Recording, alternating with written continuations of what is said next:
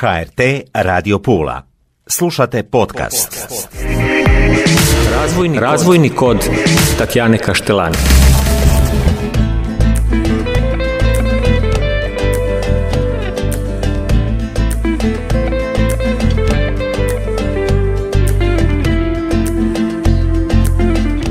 Dobro mi došle, poštovane slušateljice i slušatelji. Ja sam Tatjana Kaštelan. Članovi udruge cerebralne paralize Istarske županije izdali su nedavno tradicionalno svoj poseban zidni kalendar s njihovim likovnim radovima. Ove godine u suradnji s akvarijumom Pula motivi i boje bili su morski, a kalendar uz likovnost šalje poruku poziva svima na bolje društvo bez predrasuda. Razvojni, Razvojni kod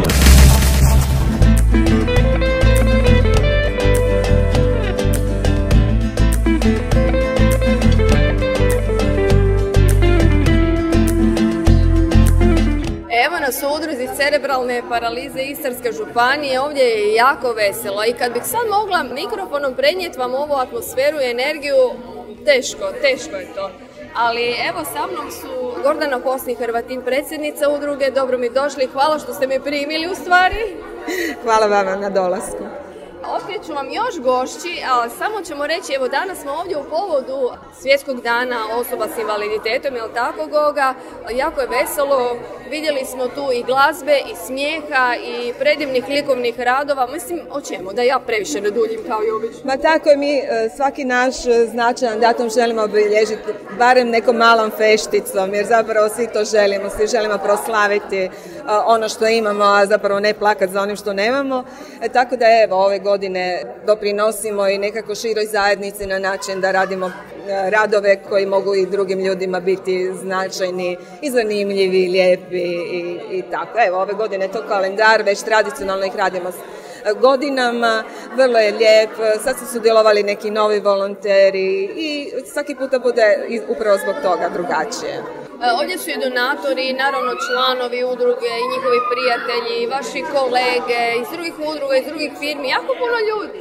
Pa tako je, evo, mi imamo puno prijatelja, ja, ja se nadam da ovo što vi kao mediji uh, o nama prenosite zapravo tome također pomaže. Upravo Milena me jednom zvala i kaže, čula sam te na radiju i ja bih htjela na neki način pridonijeti, je tako bilo? Tako da je ovaj, meni jako, jako značajno što vi dolazite i pratite nas. Hvala najljepša Goga za sad. A Milena Mičić je s nama. Milena, čestitke kao prvo na velikoj eh, prestižnoj nagradi za gospodarstvo. Hvala, hvala Tatjana, hvala. Dobra i u vašim rukama i to... To dvije, dvije, jedna od Istarske županije, druga na nacionalnom nivou, tako Milena je. jednostavno osvaja i primjer je u gospodarskom uh, miljeu. A jako važna stavka u svemu ovome je upravo ovo što sam danas vidjela. Moram reći da ste me iznenadili, iako svaka vam čast. Dakle, donatori nečeg predivnog. Pa da, jer e, prije sve te zlatne kune, jer nas dvije smo se dogovorile da nešto trebamo konkretno napraviti, a ne samo da njihovi štićenici dolaze u akvari, pogledaju i tako. To je jedna stvar, a ovo drugo, konkretnije nekakvi, konkretni, ajmo reći, proizvodi, nešto što oni mogu napraviti. Znam da su kreativni, jako kreativni, što vidimo iz ovog kalendara. I evo, ovo je, mislim, samo jedan početak naše e, suradnje, e, koja će sigurno biti jako uspješna i mislim da, s obzirom da je more naše neiscrpno bogatstvo, tu će i oni vidjeti da je mogu kreirati na razno razne načine, tako da e, mislim da je to samo jedan početak buduće naše lijepe suradnje i evo, čekajmo pa vidimo. U kalendaru je u stvari more.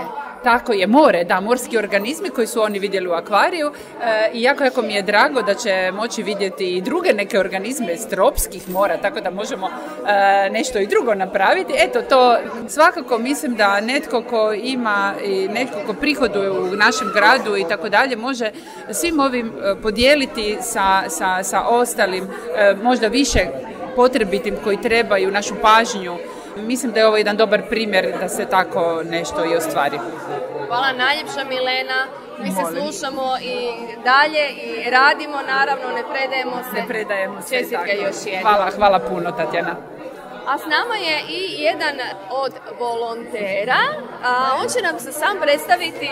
Dobar dan, ja sam Dragan Marić, volonter u, udrugi od cerebralne paralize, volim dosta s njima raditi jer se tu opuštam, e, s njima uživam, inače dolazim i s mojom kćeri Emilijom, meni je jako ugodno s njima jer oni su toliko dobra dušica da, da, da, da se osjećam tako jako snažno i op- opušteno. I meni je drago što su me prihvatili e, e, kao svog člana i drago mi je da, da ljudi sve, u sve višem broju su prisutni i pomažu nam da udruga e, funkcionira dobro i da svi budemo sretni, zadovoljni i veseli. Tako je, svako na svoj način pomaže. Kad ste vi u stvari krenuli? Koliko je godina već? Pa ja imam već dugo, dugo godina. Ja inače volonter sam jako dugo, imam preko 10 godina. Već neki, neki članovi, korisnici e, udruge cerebralne paralize su bili i mali, sad su već porasli, tako da smo ono baš veliki prijatelji. Eto. Volonter treba imati u sebi, odnosno što se traži od volontera? Od volontera se traži da, da bude, e, u, da bude e, potpuno slobodan, čista srca, e, bez bile kakve predosude prema drugima, da dođe, da da sebe njima. Što više se on njima daje, oni još više njima pružaju ljubav, sreću i zadovoljstvo. I to je to. Hvala vam najljepše, puno uspjeha i dalje. Hvala, hvala. Hvala vam. Leonarda, jednu rečenicu, e, ostavila si nas bez teksta. Jesam. Evo, to je moja najveća zahvala udruzi cerebralne paralize Istarske županije koja me godinama me pozove na takva događanja i sve. I jako sam zahvalna predsjednici Gogi Kosni Hrvatin koja me pozvala i stvarno sam zahvalna svim divnim ljudima koji su omogućili sve da, da ovo proteče u najboljem redu. Sigurna da si zahvalna i dragom Bogu na ovom glasu, jer je su ove izvedbe bile predivne, ali predivne. Jesu. E, to sam se pripremala sa svojom profesoricom Ester Marin, koja nažalost nije mogla doći. E, pripremili smo te dvije stvari koje sam pjela prije četiri godine Smash That's Life i prije korone sam snimila glazbu iz Disneya e, Notre Dame na francuskom. Predivno. Čestitam ti Leonarda, s nama je Leonarda Budija, naša poznata glazbenica. Doista sve ovo što radiš je dosta intenzivno. Što ti je najdraže? Koje su ti pjesme najdraže? Pa Teško je reći vjerujem. Pa meni su pjesme uvijek sve lakše radi, radi, radi jezika stranih i našeg hrvatskog jezika, ali ja uvijek slušam rock glazbu, domaću glazbu, tu i tamo nešto istarsku glazbu i tako. Francuski ti je predivan. Da, ali još, još ga nisam ga usavršila točno, baš kako treba. Hvala ti puno i puno uspjeha i dalje. Hvala i vama. Hvala. Znači, evo nas u udruzi, s nama je i Ivan, Ivan Stefanović. Kako si Ivane? Dugo se nismo vidjeli. Jako dobro, Jel hvala. da? Ovo je atmosfera fenomenalna danas. Je, je, jako je lijep događaj, jako je lijepo organizirano. Stvarno, jako mi je drago da udruga ide naprijed, da se razvija, svašta odvija. I eto, nadam se da će tako biti u buduće. Iz godine u godinu se doista mijenja udruga. Mijenjate se svi mi, odnosno svi mi se mijenjamo. Je, je, evo, mijenja se, da, e, nisam baš u toku, u toku zbog, e, nisam toliko više posvećen zbog posla i drugih obaveza, ali vidim da se mijenja dosta i ide naprijed, e, to je najbitnije. Hvala ti puno Ivane i puno uspjeha i dalje i vidimo se uskoro. Hvala vama. S nama je i Valent Hrvatin. E, Imao si jako lijep govor. Pa možeš s nama podijeliti par rečenica jer mi smo snimili. Pa da, ovaj, em, meni je zapravo bio gušt raditi s njima, sa polaznicima udruge cerebralne paralize oko tog kalendara, zato što još nisam imao prilike i na govoru sam rekao da sam htio istaknut em, svaki pojedini rad, znači bez mojih intervencija, bez da ja nešto ne dodavam i zato mi se ovaj rad, e, ovaj kalendar sviđa, zato svaki rad je drugačiji, jer svaki polaznik likovne radionice ima drugačiji stil rada i u tome je zapravo čar. Kakvi su u stvari radovi, da malo opišemo našim slušateljima. Dakle, kao prvo primjećujem, a ono što je najvažnije, barem meni, i većini, vjerujem, ljudi su boje. Dakle, boje i u njima se baš osjeti onako život, optimizam.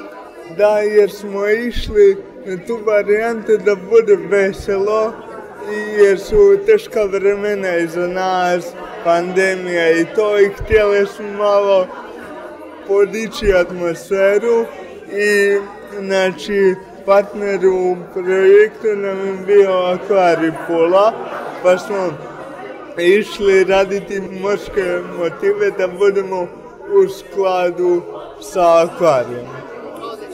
Valente, e, čestitam tebi i svim članovima udruge, odnosno radionice, na ovom što ste ostvarili. Doista nije mala stvar. Da, hvala. Ja bih samo pozvao slušatelje da, da dođu i kupe kalendar jer je jedinstven, unikatan, tako da mogu slušatelji doći. Ako ništa, da barem pogledaju šta radim. Apsolutno. Hvala ti puno i puno uspjeha. Hvala vama. A s nama je i Svjetlana. Svetlana Stojanović. Svjetlana Stojanović, e, evo kako je svijet malen, e, Svjetlana nam radi u udruzi, jel tako? Da, tako je. Konkretno? Ja sam voditeljica jednog projekta koji se zove Projekt osobnih asistenata za osobe s invaliditetom. Imamo 12 osobnih asistenata zaposlenika koji pružaju e, usluge našim korisnicima pet dana u tjednu, neki na pola radnog vremena, neki na puno radno vrijeme. Znači oni su njihove ruke i noge pet dana u tjednu. To je zahtjevan projekt, pretpostavljam. Pa zapravo to je zahtjevan projekt. Um, iziskuje puno, puno truda u pronalaženju asistenata. Financirani smo od strane Ministarstva rada i kao što i sama riječ kaže, to je projekt, traje dvije godine ili tri godine. Ovaj put nam traje dvije godine jer je naime u izradi već duže vrijeme e, novi zakon o osobnim asistentima i onda se nadamo da će doći do neke promjene koja će biti promjena na bolje za sve asistente, odnosno naše djelatnike. Svjetlana, hvala najljepša i puno uspjeha i dalje. Mi ćemo se slušati u sljedećoj našoj emisiji, malo detaljnije o tebi i tvom radu. Hvala ti. Nema na čemu, ma hvala vama. Lijep pozdrav. S nama je i Rozana Pajković. E, lijepo je ovdje doista. E, vi ste ovdje iz osobnih i neosobnih. Recite iz kojeg razloga, ako želite podijeliti? Iz osobnih i kao predstavnica Arena Hospitality grupa. E, mi se družimo sa udrugom cerebralne paralize već jako dugi niz godina. E, nadamo se da ćemo još i podržavamo svaki njihov rad. Svaka čast, Arena Hospitality je snažna u svakom pogledu ako je u ovom, a vidimo da je. Uvijek, uvijek i uvijek, uvijek za njih. Hvala vam najljepša. Vama. I hvala svima. Budimo bolje društvo, slobodni i čista srca i bez predrasuda. Za sebe i za druge. Srdačno vas pozdravljam. Do iduće emisije. Razvojni, Razvojni kod Tatjane Kaštelani.